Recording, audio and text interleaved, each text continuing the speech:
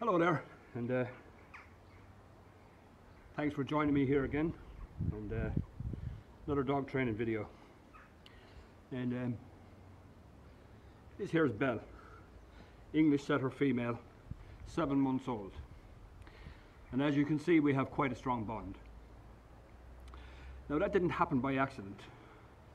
Um, Belle has been with me since she's approximately 10 weeks old and uh, I've been working on forming a bond with her ever since.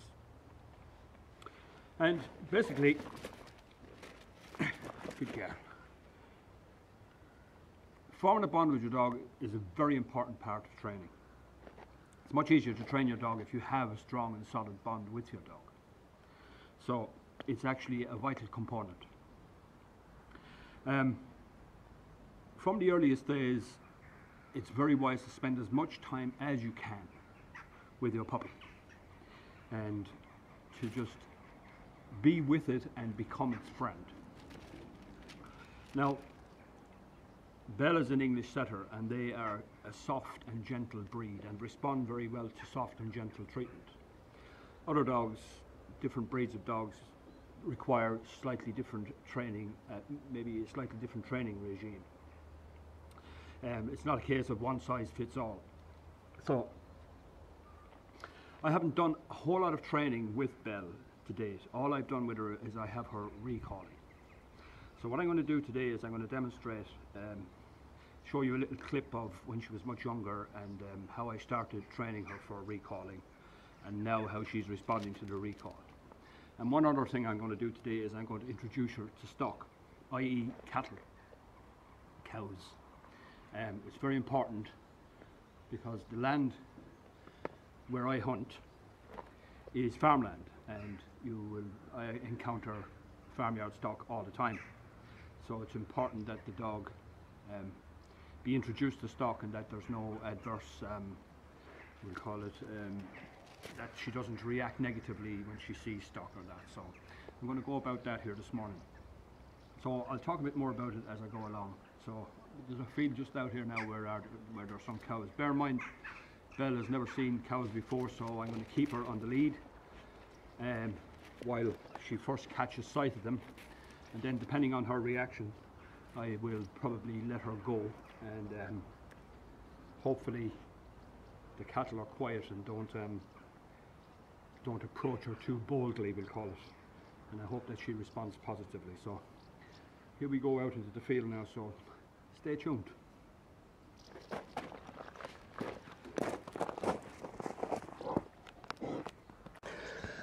Now these are the cows and um, I've deliberately chosen the cows in this field because they are very quiet and they're used to dogs because many people um, use this place to exercise their dogs. So what I'm going to do now is I'm just going to walk down here with Belle on the lead and just see how she responds and watch out for any negativity or any possible um, problems. So here goes. Now just before I do that I almost forgot. Here's a little clip of Belle when she was just three months old when I was teaching her to recall. This will be her very first time hearing a whistle. Belle, Belle, Belle, come on, come on, good girl. So what I'm going to do now is I'm going to get down low and I'm going to call her using the whistle.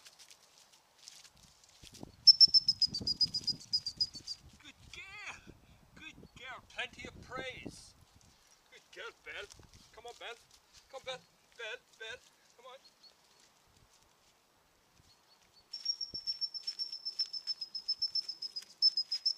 Good girl. Good girl, Belle. Good girl. That's it.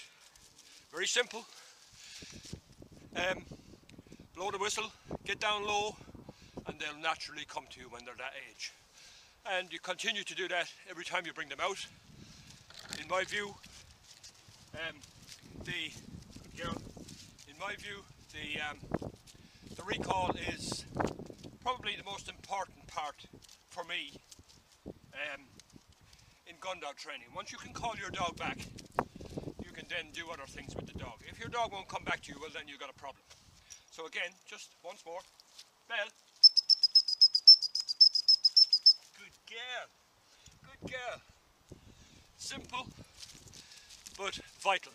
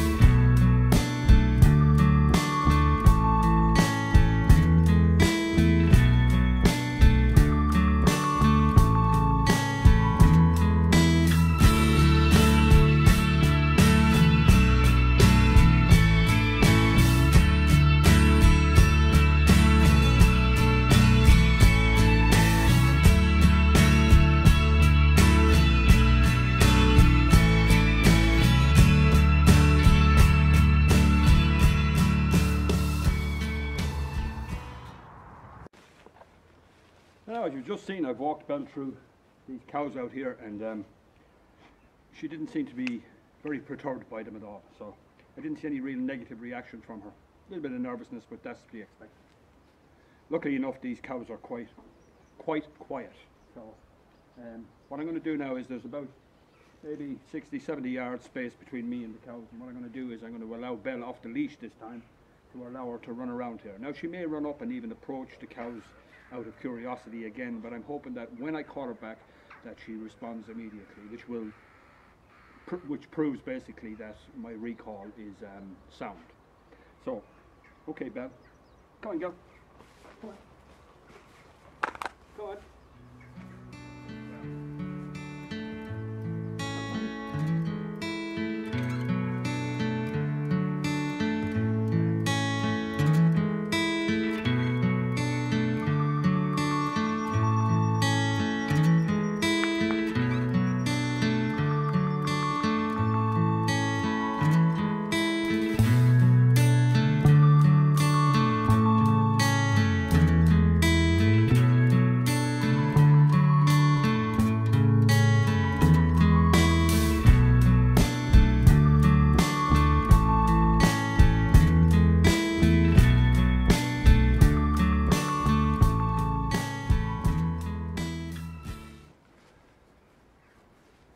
You can see that worked out very well.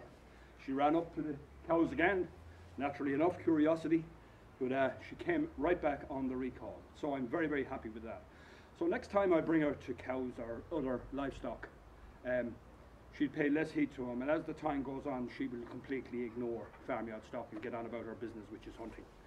So I'm really, really happy with that, and um, this goes to show you and emphasizes the importance of the bond. Once you have the bond with the dog, the dog will trust you and it'll make it much easier to train your dog. So, once again, thanks very much for joining me and um, keep an eye out for the next video. If you hit the subscribe button and the little bell icon, you'll be notified of any future videos.